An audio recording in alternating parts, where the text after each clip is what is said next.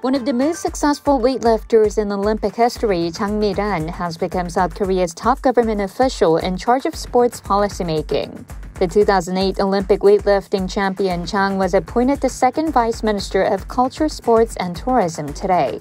Jang is the third well-known and successful athlete to become the second vice minister of sports following former shooter Park Jong-gil and ex-swimmer Choi Yoon-hee.